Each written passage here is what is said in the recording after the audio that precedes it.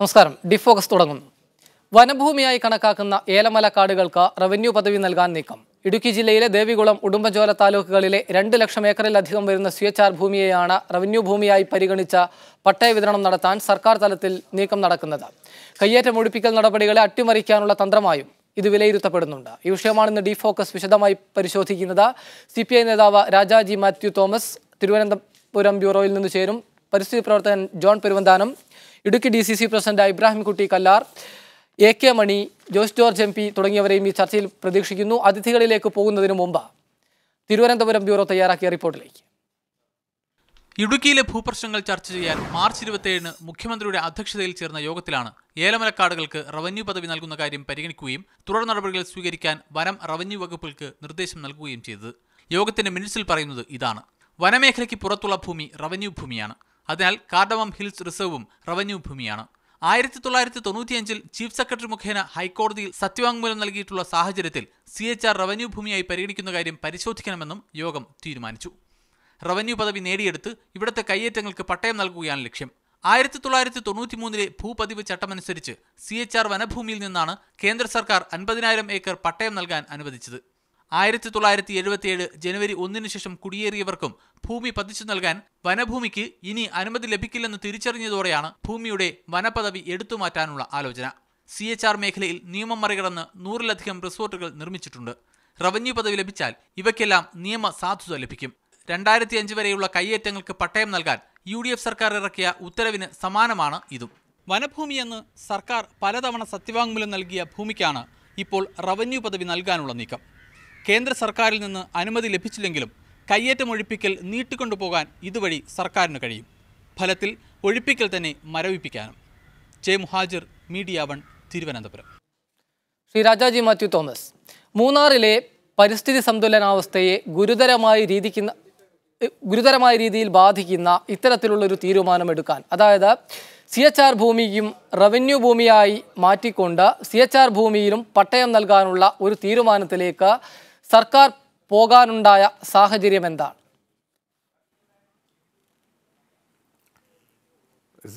C H R ഭൂമിക്ക് പട്ടയം നൽകുന്നതിനെക്കുറിച്ചൊരു തീരുമാനം അന്തിമമായിട്ട് സർക്കാർ എടുത്തിട്ടില്ല. ഇത് മാർച്ച് ഇരുപത്തി ഏഴാം തീയതി ചേർന്ന യോഗത്തിൽ പരിശോധനയ്ക്ക് വിധേയമാക പരിഗണിക്കപ്പെടേണ്ട ഒരു വിഷയം എന്നുള്ള നിലയ്ക്ക് അതിനെക്കുറിച്ച് പരിശോധിക്കാൻ ബന്ധപ്പെട്ട വകുപ്പുകളോട് റവന്യൂ വനം വകുപ്പുകളോട് ആവശ്യപ്പെടുക മാത്രമേ ചെയ്തിട്ടുള്ളൂ. ഇത് വളരെ ലളിതമായിട്ട് കൈകാര്യം ചെയ്യാവുന്ന ഒരു വിഷയമല്ല. ഇത്രയും ഭൂമിക്ക് പട്ടയം നൽകാൻ കഴിയുമെന്ന് ആരെങ്കിലും കരുതുന്നുണ്ടെങ്കിൽ അതും അസ്ഥാനത്താണ് വൻകിട കുടിയേറ്റങ്ങൾ ഒഴിപ്പിക്കുക എന്നുള്ളതാണ് സർക്കാരിന്റെ നയം. ആ വൻകിട കുടിയേറ്റങ്ങൾ ഒഴിപ്പിക്കാനും ആയിരത്തി തൊള്ളായിരത്തി എഴുപത്തിയേഴ് ജനുവരി ഒന്ന് വരെയുള്ള കുടിയേറ്റങ്ങൾക്ക് ആ കർഷകർക്ക് പട്ടയം കൊടുക്കാനുള്ള തീരുമാനമാണ് ഇരുപത്തിയേഴാം തീയതി ഉണ്ടായത്. മറ്റുള്ളതൊക്കെ പരിശോധനയ്ക്ക് പരിഗണനയ്ക്ക് വിധേയമായിട്ടുള്ള വിഷയങ്ങളാണ്. അതിനെക്കുറിച്ച് ഒരു ഹൈലി സ്പെക്കുലേറ്റീവ് ആയിട്ടുള്ള ഒരു ചർച്ചയാണ് ഫലത്തിൽ നമ്മളിപ്പോൾ നടത്തുന്നത്. ഞാൻ തിരിച്ചു വരാം. ശ്രീ ജോൺ പെരുവന്താനം ആയിരത്തി തൊള്ളായിരത്തി എഴുപത്തിയേഴ് ജനുവരി ഒന്ന് വരെയുള്ള കുടിയേറ്റക്കാർക്ക് പട്ടയം നൽകുക എന്നത് സർക്കാരുകൾ സ്വീകരിച്ചു വരുന്ന ഒരു നയമാണ്. കഴിഞ്ഞ സർക്കാരും ചെയ്തിട്ടുണ്ട്. ഈ സർക്കാരും അതാണ് അവരുടെ പട്ടയ മൂന്നാറിലെ വിഷയം സംബന്ധിച്ചുള്ള അവരുടെ പ്രധാനപ്പെട്ട ഒരു നിലപാടായി പറയുന്നതും. അങ്ങനെ പട്ടയം നൽകണമെങ്കിൽ ഉടുമ്പൻചോല താലൂക്കിലെങ്കിലും പൂർണമായും സി എച്ച് ആർ ഭൂമിയായ ഉടുമ്പൻചോല താലൂക്കിൽ അങ്ങനെ പട്ടയം നൽകണമെങ്കിൽ ഈ ഭൂമി ഇപ്പോഴത്തെ അവസ്ഥയിൽ റവന്യൂ ഭൂമിയാക്കി മാറ്റുക എന്നത് അല്ലാതെ മറ്റെങ്ങനെയാണ് സർക്കാരിന് അവിടെ നിരു ഉപാധിരഹിതമായി പട്ടയം നൽകാൻ കഴിയുന്നത്? ഇവിടെ പട്ടയവുമായി ബന്ധപ്പെട്ട പ്രശ്നങ്ങൾ ചർച്ച ചെയ്യുമ്പോൾ മറ്റു ചില കാര്യങ്ങൾ കൂടി കാണേണ്ടതുണ്ട്. ഒന്ന് വിഖ്യാതമായ ഒരു കേസുണ്ട് സുപ്രീം കോടതിയിൽ. ആ കേസ് എന്ന് പറയുന്നത് ഗോതവർമ്മ തിരുമുൽപ്പാടുമായി ബന്ധപ്പെട്ട കേസാണ്.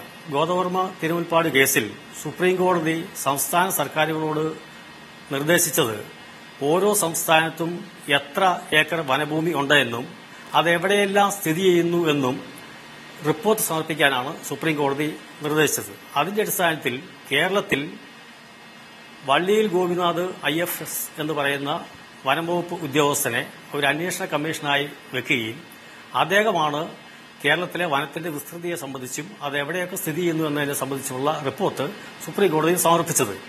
അന്ന് സമർപ്പിച്ച ആ റിപ്പോർട്ടിൽ ഈ സി എച്ച് ആർ എന്ന് പറയുന്ന മുന്നൂറ്റി നാൽപ്പത്തിയൊന്ന് ചതുരശ്ര മൈൽ വിസ്തീർണമുള്ള രണ്ട് ലക്ഷത്തി പതിനേഴായിരം ഏക്കർ വിസ്തീർണമുള്ള ഈ ഭൂപ്രദേശം മുഴുവൻ വനഭൂമിയാണ് എന്ന് പറഞ്ഞ് സുപ്രീം കോടതിയിൽ റിപ്പോർട്ട് കൊടുത്തിട്ടുള്ളതാണ്. പിന്നീട് രണ്ടാമത് മതികെട്ടാൻ കേസ് വന്ന സമയത്തും കേരള ഗവൺമെന്റ് കേരള ഹൈക്കോടതിയിൽ മതികെട്ടാൻ ചോര സി എച്ച് ആറിന്റെ ഭാഗമാണെന്നും അത് വനഭൂമിയാണെന്നും പറഞ്ഞ് റിപ്പോർട്ട് കൊടുത്തിട്ടുണ്ട്. അങ്ങനെ സി എച്ച് ആർ വനഭൂമിയാണെന്ന് സുപ്രീം കോടതിയിലും ഹൈക്കോടതിയിലും രണ്ടു തവണ കേരള ഗവൺമെന്റ് തന്നെ റിപ്പോർട്ട് കൊടുത്തിട്ടുള്ള സാഹചര്യത്തിൽ സി എച്ച് ആറിൽ ഇനി പട്ടയം കൊടുക്കണമെങ്കിൽ കേന്ദ്ര ഗവൺമെന്റിന് അനുവാദം വാങ്ങണം. ഇവിടെ പട്ടയത്തിന് വേണ്ടി അൻപതിനായിരം ഏക്കർ ഭൂമി കേന്ദ്ര ഗവൺമെന്റ് വനഭൂമി അൻപതിനായിരം ഏക്കർ അനുവദിച്ചിട്ടുണ്ട്. ആ അനുവദിച്ചിട്ടുള്ള അമ്പതിനായിരം ഏക്കർ എന്ന് പറയുന്നത് ഈ സി എച്ച് ആർ മേഖലയ്ക്കുള്ളിലാണ് അതുകൊണ്ട് ബാക്കി വരുന്ന സി എച്ച് ആർ മേഖലയിലെ വനഭൂമി പട്ടയം കൊടുക്കാനുള്ള ഏതൊരു നീക്കവും ഭരണഘടനാപരമായിട്ടുള്ള നിയമവിരുദ്ധമായിട്ടുള്ള ഒരു നടപടിയാണ്. അത് മാത്രമല്ല ഈ പട്ടയം കൊടുക്കുന്നതിനെ സംബന്ധിച്ച് Ittiyadi Eechalan versus state of Kerala എന്ന് പറയുന്ന ഒരു കേസിൽ സുപ്രീം കോടതിയുടെ മറ്റൊരു ഫൈൻഡിങ്സ് കൂടി നിൽക്കുന്നുണ്ട്.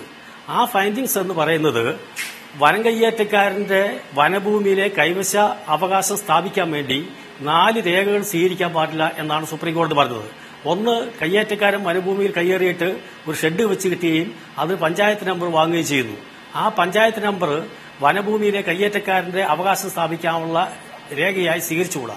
രണ്ട് ആ വീട്ടു നമ്പർ ഉപയോഗിച്ചുകൊണ്ട് പഞ്ചായത്തിൽ കരം കെട്ടിയാൽ ആ കരം കെട്ടിയ രസീത് കയ്യേറ്റക്കാരന്റെ കൈവശ അവകാശം സ്ഥാപിക്കാനുള്ള രേഖയായി സ്വീകരിച്ചുകൂടാ. മൂന്ന് ഇതുപയോഗിച്ച് വോട്ടർ പട്ടികയിൽ പേര് ചേർത്താൽ ആ പേര് ചേർത്തു എന്ന കാരണത്തിന്റെ പേരിൽ കയ്യേറ്റ ഭൂമിയിലെ കൈവശക്കാരന്റെ അവകാശം സ്ഥാപിക്കാൻ ഈ വോട്ടർ പട്ടികയിലെ പേര് ഉപയോഗിച്ചുകൂടാ. നാല് ഈ മൂന്ന് രേഖകൾ ഉപയോഗിച്ച് അവിടെ റേഷൻ കാർഡ് ഉണ്ടാക്കിയാൽ ആ റേഷൻ കാർഡ് കയ്യേറ്റക്കാരന്റെ വനഭൂമിക്ക് മീതെയുള്ള അവകാശം സ്ഥാപിക്കാനുള്ള രേഖയായി സ്വീകരിക്കാൻ പാടില്ല. ജോൺ താങ്കൾ പറഞ്ഞു വരുന്നത് ചുരുക്കത്തിൽ ഉടുമ്പൻചോല താലൂക്കിൽ ഉപാധിരഹിത പട്ടയം നൽകുമെന്ന സർക്കാരിന്റെ വാഗ്ദാനം. അല്ലെങ്കിൽ ഇരുപത്തിയേഴിന്. എഴുപത്തിയേഴിന് മുമ്പുള്ള കുടിയേറ്റക്കാർക്ക് പട്ടയം നൽകുമെന്ന ഇടതു മുന്നണി സർക്കാരിന്റെ വാഗ്ദാനം നടപ്പാകാൻ പോകുന്നില്ല. ഇപ്പോഴത്തെ നിലയിൽ ആരെല്ലാം കർഷകരെ പറഞ്ഞ് കബളിപ്പിക്കാൻ ശ്രമിച്ചാലും വ്യാമോഹിപ്പിക്കാൻ ശ്രമിച്ചാലും ഒന്ന് ഒന്ന് എഴുപത്തേഴിന് മുമ്പ് കയ്യേറിയിട്ടുള്ള ഭൂമിക്കല്ലാതെ അതിനുശേഷം കയ്യേറിയിട്ടുള്ള ഭൂമിക്ക് പട്ടയം കൊടുക്കാൻ ഒരു കാരണവശാലും കഴിയില്ല. അത് വളരെ വ്യക്തമായി കേരള ഹൈക്കോടതി തന്നെ എഴുപത്തിയേഴിന് ശേഷം കയ്യേറിയിട്ടുള്ള ആളുകളെ കുടിയൊഴിപ്പിക്കണമെന്ന് കർക്കശമായ നിർദ്ദേശം നൽകിയിട്ടുണ്ട്. റൈറ്റ്, ഞാൻ തിരിച്ചു വരാം. ശ്രീ രാജാജി മാത്യു തോമസ് ജോൺ പെരുവന്താനം സൂചിപ്പിച്ചതുപോലെ കേരള ഹൈക്കോടതി തന്നെ എഴുപത്തിയേഴിന് ശേഷമുള്ള കയ്യേറ്റക്കാരെ ഒഴിപ്പിക്കണമെന്ന കർശനമായ നിർദ്ദേശം സർക്കാരിന് നൽകിയിട്ടുണ്ട്. മാത്രമല്ല സി ഭൂമി വനഭൂമിയാണെന്ന ഒന്നിലേറെ തവണ ഹൈക്കോടതിയിൽ സർക്കാർ പറഞ്ഞിട്ടുണ്ട് സുപ്രീം കോടതിയിലും സർക്കാർ നിലപാടെടുത്തിട്ടുണ്ട്. അത്തരത്തിൽ വനഭൂമിയാണെന്ന് പറഞ്ഞ സി എച്ച് ആർ ഭൂമി വീണ്ടും റവന്യൂ ഭൂമിയാക്കി തരം മാറ്റണമെന്ന് സർക്കാർ ഒരു നിർദ്ദേശം നൽകുമ്പോൾ അത് പ്രായോഗിക ബുദ്ധിയോട് കൂടിയാണ് നൽകിയതെന്ന് താങ്കൾ കരുതുന്നുണ്ടോ?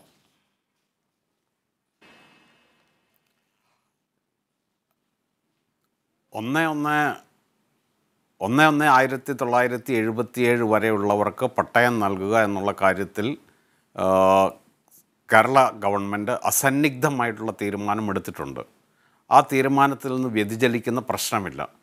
മറ്റ് കാര്യങ്ങളെക്കുറിച്ച് പരിശോധിക്കുന്നത് നിയമപരമായിട്ടുള്ള വിഷയമാണ്. ആ നിയമങ്ങൾക്ക് വിധേയമായിട്ട് കേന്ദ്ര സംസ്ഥാന നിയമങ്ങൾക്ക് വിധേയമായിട്ട് കോടതി വിധിക്ക് വിധേയമായിട്ടല്ലാതെ മറ്റൊന്നും ചെയ്യാനാവില്ല. ശ്രീ രാജാജി മാത്യു തോമസ് അങ്ങനെ പറയുമ്പോൾ പോലെ തന്നെ താങ്കൾ സൂചിപ്പിച്ചതുപോലെ തന്നെ നിയമപരമായി ചെയ്യണമെങ്കിൽ ഇത്തരത്തിലുള്ള തടസ്സങ്ങൾ ഉണ്ടല്ലോ. ആ തടസ്സങ്ങൾ എങ്ങനെ മറികടക്കുമെന്നാണ് സർക്കാർ കരുതുന്നത്?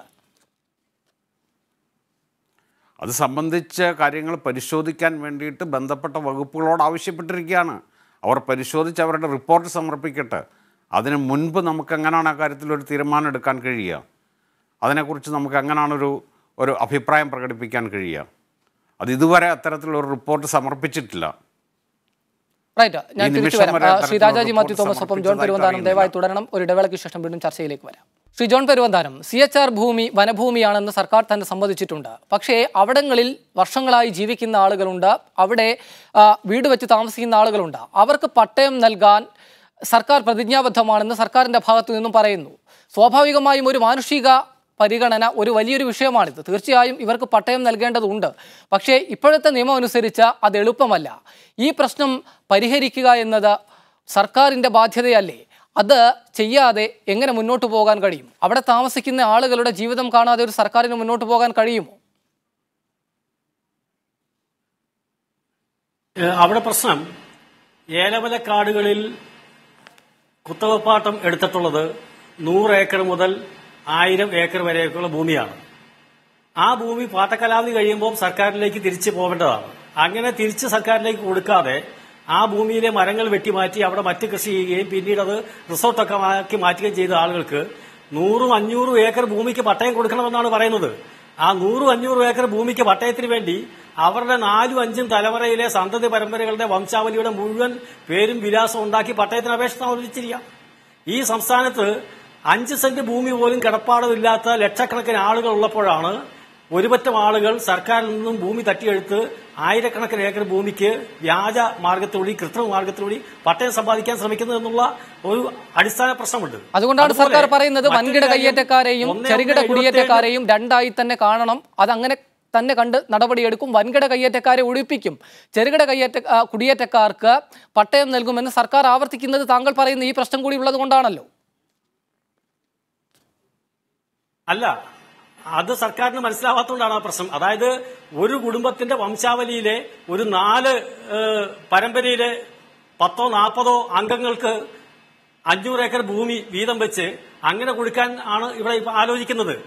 അത് ഒരു കാരണവശാലും അംഗീകരിക്കാൻ കഴിയുന്ന കാര്യമല്ല. അവരുടെ മക്കൾക്കും കെട്ടിച്ചു വീഴ്ത്ത പെൺമക്കൾക്കും അവരുടെ മക്കൾക്കും അങ്ങനെ നിരവധി തായ്വഴികളിലേക്ക് വ്യാജ പേരുകൾ ഉണ്ടാക്കിയാണ് പട്ടയത്തിന് അപേക്ഷ സമർപ്പിച്ചിരിക്കുന്നത്. യഥാർത്ഥത്തിൽ അമ്പത് വർഷം മുമ്പ് അഞ്ഞൂറ് ഏക്കർ ഭൂമി കുത്തകപ്പാട്ടം എടുത്ത ആളുടെ കയ്യിൽ ഇപ്പോഴും ആ ഭൂമി ഇരിക്കുകയാണ്. പക്ഷേ പട്ടയത്തിന് അപേക്ഷിക്കുമ്പോൾ ഇവരുടെ തായ് വഴികളുടെയും സന്തതി പരമ്പരകളുടെയും പേരിൽ അഞ്ച് ഏക്കറിനും പത്ത് ഏക്കറിനുമാണ് പട്ടയത്തിന് അപേക്ഷിക്കുന്നത്. അത്തരം ആളുകൾക്ക് ആ നിലയിൽ പട്ടയം കൊടുക്കാനുള്ള ഭൂമി കേരളത്തിൽ ഇല്ല. ലക്ഷക്കണക്കിന് ആളുകൾ ഭൂരഹിതരായി കേരളത്തിൽ കഴിയുന്ന സാഹചര്യത്തിൽ അങ്ങനെ കൊടുക്കാൻ കഴിയുന്നുവല്ല. അതുപോലെ മറ്റൊരു പ്രധാനപ്പെട്ട കാര്യമുള്ളത് ഒന്നേ ഒന്ന് എഴുപത്തിയേഴിന് മുമ്പ് ആദിവാസികളുടെ കൈവശമിരുന്ന ഭൂമിക്ക് ഇന്ന് ആദിവാസിക്ക് പട്ടയം കൊടുക്കുക എന്നുള്ള കാര്യം സർക്കാർ പറയണം.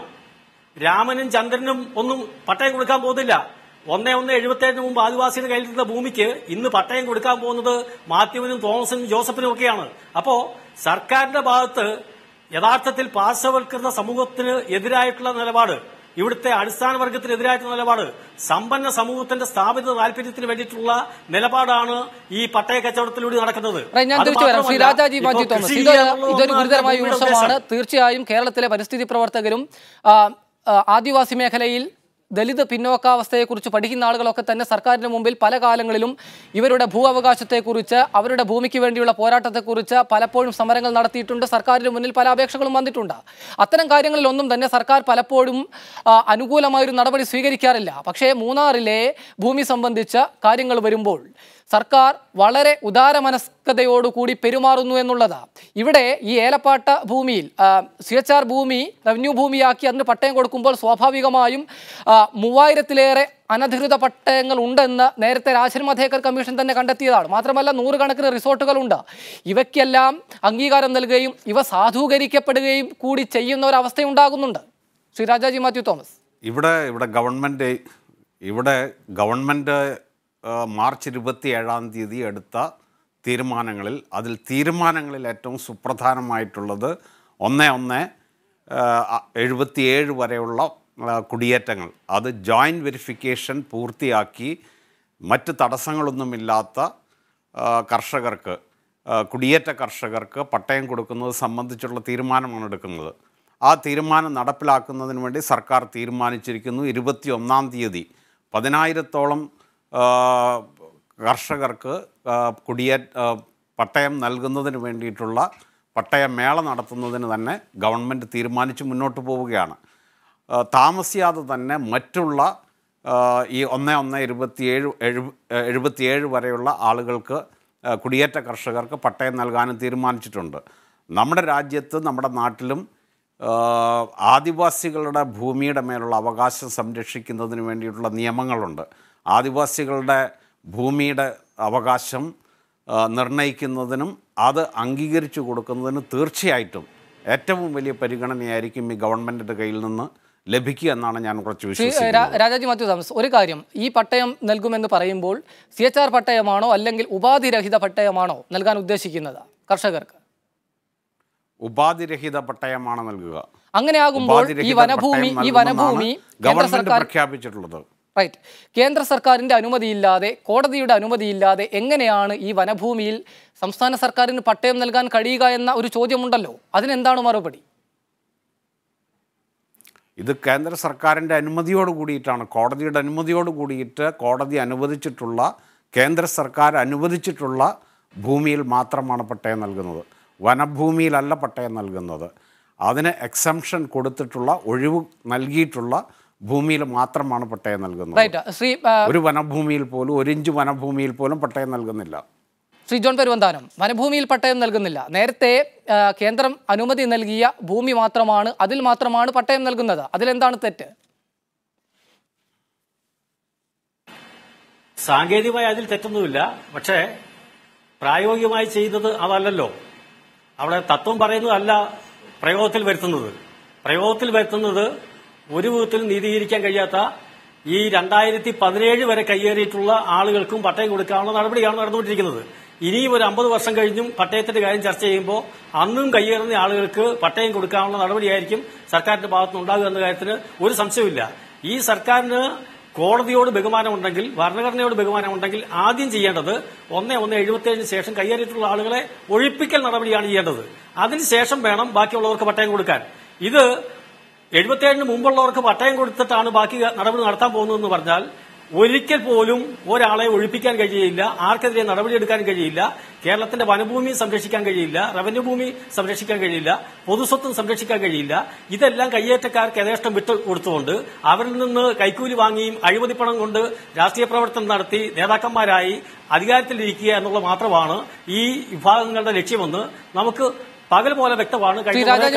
ഇതാണ് പ്രശ്നം. ഈ കയ്യേറ്റം ഒഴിപ്പിക്കലും പട്ടയ വിതരണവും പട്ടയം നൽകലും കൂട്ടിക്കുഴയ്ക്കുന്നതിന്റെ കാര്യമാണ് ചോദ്യം ചെയ്യപ്പെടുന്നത്. ഒന്നേ ഒന്ന് എഴുപത്തിയേഴിന് മുമ്പുള്ളവർക്ക് കുടിയേറ്റക്കാർക്ക് പട്ടയം നൽകണമെന്ന കാര്യത്തിൽ രാഷ്ട്രീയ അഭിപ്രായ വ്യത്യാസമില്ല. അത് നൽകണം.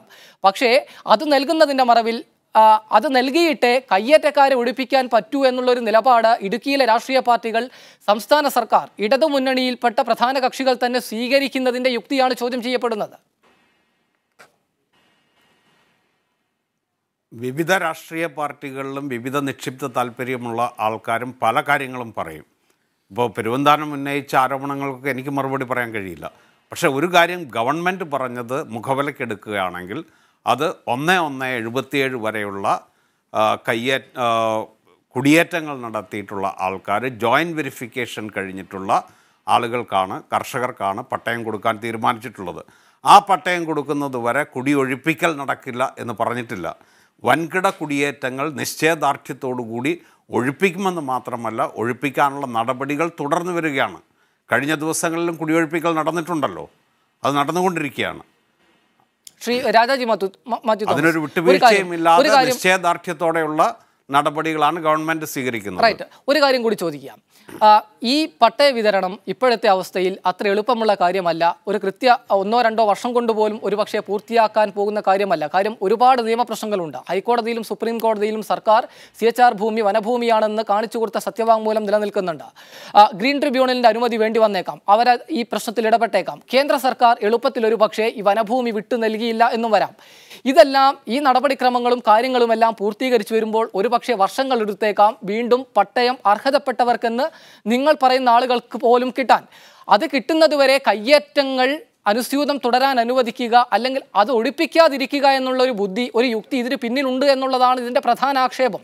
കയ്യേറ്റങ്ങൾ ഒഴിപ്പിക്കൽ ഒരു ഭാഗത്ത് നടക്കട്ടെ കർശനമായി. പട്ടയ വിതരണം മറ്റൊരു രീതിയിൽ മറ്റൊരു വിഷയമായി കണ്ടുകൊണ്ട് മുന്നോട്ട് പോകാം എന്നൊരു ഉറച്ച നിലപാട് ഇടതുമുന്നണിക്ക് സ്വീകരിക്കാൻ പറ്റുന്നില്ലല്ലോ.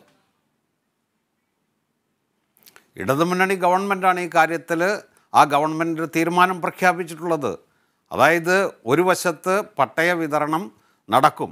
അത് ഇരുപത്തിയൊന്നാം തീയതി ആദ്യഘട്ടമായിട്ട് പതിനായിരം പേർക്ക് പട്ടയം നൽകുമെന്ന് ഗവൺമെന്റ് ഇതിനകം പ്രഖ്യാപിച്ചു കഴിഞ്ഞു. അത് സംബന്ധിച്ച നടപടിക്രമങ്ങളെല്ലാം പൂർത്തിയാക്കിയിട്ടുണ്ട്. അത് ജോയിന്റ് വെരിഫിക്കേഷൻ നടന്നതിന്റെ അടിസ്ഥാനത്തിൽ നിയമാനുസൃതമായി കേന്ദ്ര ഗവൺമെന്റ് അനുമതി നൽകിയിട്ടുള്ള ഭൂമിയിലാണ് ആ പട്ടയ വിതരണം നടക്കുന്നത്. അതുപോലെ തന്നെ മറുവശത്ത് അനധികൃതമായിട്ടുള്ള കയ്യേറ്റങ്ങൾ വൻകിട കയ്യേറ്റങ്ങൾ. ആ കയ്യേറ്റങ്ങൾ റിസോർട്ട് മാഫിയ അടക്കമുള്ളവർ നടത്തിയിട്ടുള്ള കയ്യേറ്റങ്ങൾ ഒഴിപ്പിക്കുന്നതിനുള്ള നടപടിയുമായിട്ട് ഈ ഗവൺമെന്റ് മുന്നോട്ട് പോവുകയാണ്. ഇടുക്കി ഡി സി സി അധ്യക്ഷൻ ഇബ്രാഹിം കുട്ടി കല്ലാർ കൂടി ചേരുന്നു. Shri Ibrahim Kutty Kallar C H R ഭൂമി റവന്യൂ ഭൂമിയായി തരം മാറ്റാനുള്ള സർക്കാർ നീക്കത്തെ കോൺഗ്രസ് എങ്ങനെയാണ് കാണുന്നത്? തീർച്ചയായിട്ടും ഇടുക്കി ജില്ലയിലെ മലയോര മേഖലകളെ അതിജീവിക്കുന്ന ജനങ്ങളെ സംബന്ധിച്ച് കസ്തൂർ രംഗൻ മാധവഘാട്ടിൽ റിപ്പോർട്ടിന്റെ അന്തിമ വിജ്ഞാപനം വരാത്തതിന്റെതായിട്ടുള്ള ഏറ്റവും വലിയ ബുദ്ധിമുട്ടുകൾ അനുഭവിച്ചുകൊണ്ടിരിക്കുകയാണ്. കാർഷിക മേഖല തന്നെ ഏറ്റവും വലിയ നഷ്ടത്തിലേക്ക് പോയിക്കൊണ്ടിരിക്കുകയാണ്. ഇപ്പൊ ഏലം മേഖലയിൽ തന്നെ കൃഷിക്കാർക്ക് അവരുടെ ചെലവിനനുസരിച്ചിട്ടുള്ള ഉൽപാദന ചെലവിനനുസരിച്ചിട്ടുള്ള ഇൻകം കിട്ടാത്ത സാഹചര്യമുണ്ട്. അപ്പൊ എല്ലാം കൊണ്ട് ഇപ്പൊ ആളുകൾ പുറത്തു നിന്ന് നോക്കുമ്പോൾ ഈ ജില്ലയിലെ വിഷയങ്ങളെ സംബന്ധിച്ച് കയ്യേറ്റം അതേപോലെയുള്ള മറ്റു പല വിഷയങ്ങൾ മറ്റു കാര്യങ്ങളൊക്കെയും പറയപ്പെടാം. പക്ഷേ യാഥാർത്ഥ്യത്തിലേക്ക് അടുക്കുമ്പോൾ അത്തരത്തിലുള്ള കുത്തപ്പാട്ട ഭൂമിക്ക് കൂടി തീർച്ചയായിട്ടും പട്ടയം ലഭിക്കണമെന്നുള്ളതാണ് കൃഷിക്കാരുടെ ഒരു ബേസിക് ആയിട്ടുള്ള ആവശ്യം. അത്തരത്തിലുള്ള കാര്യങ്ങൾക്ക് വേണ്ടി കാർഷിക കാർഷിക താല്പര്യങ്ങൾ ഉയർത്തിപ്പിടിച്ചുകൊണ്ട് മുമ്പോട്ട് വരുന്നത് നല്ല കാര്യമാണ് എന്ന് തന്നെയാണ് പാർട്ടി കരുതുന്നത്. റൈറ്റ് വളരെ നന്ദി ശ്രീ ആ, കലാർ ശ്രീ ജോൺ പെരുവന്താനം. ഇടുക്കിയിലെ കർഷകരുടെ പ്രശ്നങ്ങൾ ഒരു യാഥാർത്ഥ്യമാണ്.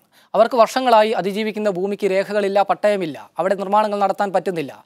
അത് പരിഹരിക്കാൻ സർക്കാരിന് മുന്നിൽ ഇത്തരം വഴികളല്ലാതെ പ്രത്യക്ഷത്തിൽ മറ്റൊരു പോംവഴി കാണുന്നില്ല.